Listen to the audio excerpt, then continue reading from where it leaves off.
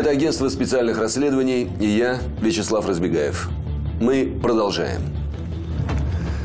Кредит без проблем. Кредит за один день. Кредит по одному паспорту. Такие объявления сейчас можно увидеть буквально на каждом шагу. Чтобы получить быстрые деньги, теперь не нужны ни залог, ни поручители, ни справка о зарплате. Мы назанимали уже почти 9 триллионов рублей. Чем будем отдавать? Российская банковская система на пороге краха из-за невозвращенных долгов, полагают эксперты. Грозит ли нам массовый дефолт заемщиков? Попробуем разобраться. Анна Коваленко из Нижнего Тагила решила расширить жилплощадь. Обратилась в банк за кредитом. Все складывалось как нельзя лучше. Кредит ей одобрили, вот только вместе с договором Анну убедили подписать страховку. Писала все документы, не читаю. Ну, не было ни возможности, ни времени, вот просто вот так, как есть. Я только потом уже дома опомнилась. Квартиру Анна так и не купила и решила вернуть кредит банку. Почему я должна банку что-то вообще? То есть перевод Алексей сделал с карты на карту, я даже не снимала деньги с карты. И на свои нужды я их не использовала никоим образом. Деньги находились в распоряжении Анны меньше трех суток. Но когда она пришла их вернуть, ей выставили счет за страховку. Они считают, что я 73 тысячи должна им вернуть. Я же добровольно подписала страховку. То есть я эту сумму должна им. Чем и как отдавать, этот вопрос волнует не только Анну Коваленко. Вот данные Национального бюро кредитных историй. В базе НБКИ содержатся сведения о кредитах 62 миллионов заемщиков. Это ну, практически все экономически активное население страны. Объем выданных кредитов за последние два года удвоился. Чего нельзя сказать о доходах населения.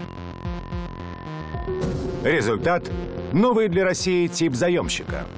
Чтобы расплатиться со старыми долгами, он вынужден раз за разом брать новые кредиты. Женщина, мать двоих дочерей в возрасте более 70 лет, набрала 19 кредитов.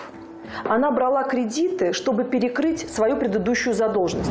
В прошлом тележурналистка, а ныне исполнительный директор информационного портала о банках Елена Ищеева стала выяснять подробности этой истории. Ее волновало, как немолодой женщине со скромным доходом могли выдать такое количество кредитов. Мы пошли в банки, наши хорошие знакомые, нам ответили, что технически у этой женщины идеальная кредитная история. Она же возвращает, а то, что она попадает в долговую вот эту воронку, техника не фиксирует. Не было ни одного сбоя. Что же стоит за идеальной кредитной историей? И какова ее реальная цена? Сейчас у этой женщины большие проблемы со здоровьем, она недееспособна. И вся долговая нагрузка легла на плечи двух дочерей. И они обратились на наш портал просто с призывом о помощи, что нам делать. По этому делу уже готовится судебное разбирательство.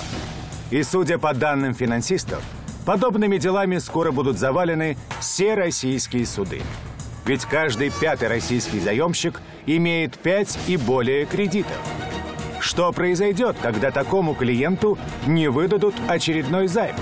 Он просто не заплатит проценты по предыдущим.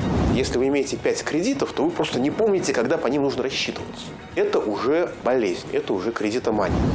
В таких случаях кредитная история превращается в историю болезни. Специалисты уже занесли кредитоманию в список психологических расстройств, не менее опасных, чем игромания. Покупая нечто приятное на этот кредит, собственно говоря, ради этого его берут, э, человек испытывает сильный прилив положительных эмоций. Некоторые э, ради получения этих эмоций берут следующий кредит, а потом берут кредит, чтобы заплатить проценты по первым двум кредитам и так далее. Неконтролируемая страсть к жизни в долг приводит к весьма печальным последствиям. Четверть наших граждан, совсем не богатых на самом деле, платят в виде процентов по кредиту от четверти до половины месячного дохода. Я когда это услышал, я захотел зарать благим матом, подумайте о детях. Ребенок в школе стал белой вороной, потому что у него нет смартфона. Мама идет за экспресс-кредитом. Думает, зарплаты отдаст. Условия вроде заманчивые. Всего 2% в день. Клиентка не понимает. что вместе со скрытыми комиссиями в год это 900%. Банки – это обычные ростовщики на сегодняшний день. Они выдают кредиты и снимают с вас три шкуры. Они в одностороннем порядке повышают процентные ставки. Они по-прежнему берут комиссии за ведение, за обслуживание счета, за выдачу кредита. Они по-прежнему навязывают страховки, хотя она вам абсолютно не нужна. Финансовая безграмотность в России велика, особенно в провинции. Людям порой сложно понять, занимают они чужие и на время, отдают свои и навсегда. За мимолетное удовольствие сегодня завтра придется платить в три дорога. Во многом в, э, вот в эти кредитные капканы попадают люди, которые не отдают себе отчет, с чем они связываются. Многие считают, что можно занимать, перезанимать до конца жизни. Представитель известной цирковой династии Эдгард Запашный никогда не понимал тех, кто берет бытовые кредиты. Как человек, как э, ну, просто гражданин, нет, кредитами никогда не пользовался, там даже фен никакой не покупал. Но однажды Запашные все-таки испытали искушение кредитом. Цирковое шоу требует профессионального света и звука. Чтобы выступление отвечало мировым стандартам, нужно было вложить в аппаратуру около полумиллиона долларов. Таких денег у запашных не было. Мы не знали, подо что взять кредит. У нас с братом на всю семью была четырехкомнатная квартира, и я спал на полу, в буквальном смысле этого слова. Там у брата тоже не было своей, своей комнаты. У нас большая э, семья была, бабушка, мама, тетя, папа. Э, там, две собаки, мы все жили вот в этой четырехкомнатной квартире. Просчитав все «за» и «против», запашные решили – риск слишком велик. Даже несмотря на то, что династия Запашных готовилась праздновать столетие. Тем более это 98 год, это вообще безумные деньги э, были на, на тот момент. И с помощью обыкновенной банальной математики ну, нам бы потребовалось бы, наверное, лет 5-6 для того, чтобы заработать эти деньги. Я понял, что это плохой выход. Такая осторожность скорее исключение, чем правило. Я стою возле кассы. Входят такие две девочки, просто Барби. Худенькие, тонкие, звонкие, но от силы 9-10 класс. Подходит, здравствуйте, мы за кредитом. В России взять кредит может любой совершеннолетний. Поэтому большинство банков спокойно выдают крупные суммы вчерашним подросткам. Недавний рекорд – одобренный кредит в 800 тысяч рублей 18-летнему юноше. Вопрос, где должен работать человек в 18 лет, чтобы погасить такую сумму? И я нагибаюсь и говорю, девушки, а зачем вам кредит? Вскидываются ресницы из-под такой красивой челки. Мне на машину не хватает занавес. Следующий акт наступает, когда подобные заемщики не могут расплатиться по кредиту. Тогда на сцене появляются так называемые коллекторские агентства – специалисты по взысканию долгов – Кредитор э, сливает базу данных э, на своих клиентов. Третьи лица, так называемые коллекторы, организовывают бизнес э, на IP-телефонии. То есть достаточно арендовать некий ангар за городом, поставить столы, стулья, подключить телефоны, набрать студентов, пенсионеров и других людей, которые не могут найти себе работу. Банк отдает коллекторам львиную долю от выбитых долгов. Кто же откажется от такой прибыли? У нас есть э, одна клиентка, которую мы сейчас защищали по кредитным долгам, э, и она э, умерла.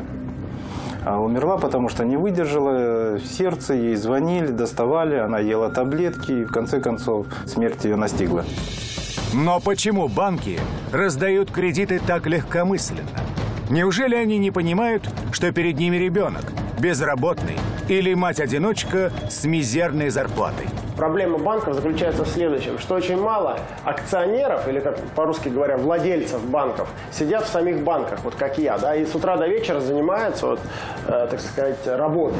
У известного банкира Олега Тинькова наверняка прибавилось работы после недавнего скандала с заемщиком его банка. Несколько лет назад банк прислал жителю Воронежа Дмитрию Агаркову предложение взять кредит. Агарков отсканировал анкету и мелким шрифтом прописал в ней, что заем выдается по нулевой ставке и кредитор не имеет права требовать с него комиссии и штрафы. банки не заметили поправок, договор был подписан, а кредит выдан. В 2012 году банкиры подали на Агаркову в суд и проиграли дело. Но этот случай не изменил систему в целом. Банки по-прежнему дают кредиты и дают много, потому что им это выгодно. В паре заемщик и банкир выигрышей всегда банкир, предупреждает Тиньков. Владельцы этих банков ставят задачу. Они сидят где-то в Праге и говорят, увеличить долю рынка в России в два раза, выдать еще один миллион кредитов. Находящийся местный менеджер он что делает? Он выполняет задачу, потому что он получает потом многомиллионные бонусы. В этом проблема, это фундаментальная проблема российской банковской розничной системы. Потому что а, они растут любыми способами, а дальше хоть трава не расти. Один из растущих секторов – ипотечное кредитование. Люди покупают квартиры в долг, несмотря на то, что проценты растут, а стоимость ипотеки в России в три раза выше, чем в Европе. Я уже лет 10 рассказываю одну и ту же шутку, что одному серийному маньяку заменили смертную казнь ипотекой на 25 лет, и все правозащитные организации мира выразили негодование по поводу этой бессмысленной жестокости.